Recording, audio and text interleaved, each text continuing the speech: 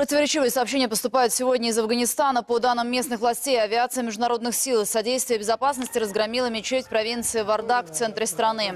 Местное информационное агентство со ссылкой на очевидцев говорит о 15 погибших. Произошло все якобы во время утреннего намаза при большом скоплении людей. Когда выжившие стали разбирать завалы и доставать раненых, самолет НАТО вернулся и нанес еще один удар. Командование международных сил, в свою очередь, заявляет, что в указанном районе был уничтожен склад с оружием. При этом ударов с воздуха авиация не наносила.